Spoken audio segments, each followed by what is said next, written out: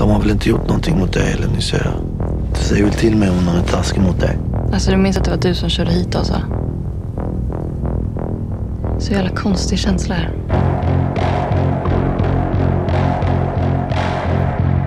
Vi är jävligt stolta med vad vi har åstadkommit här ute, ska du veta.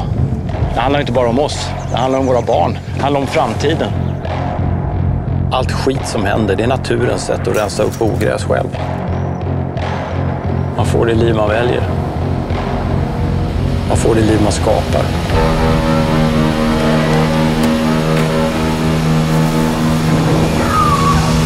Man skördar det man sår.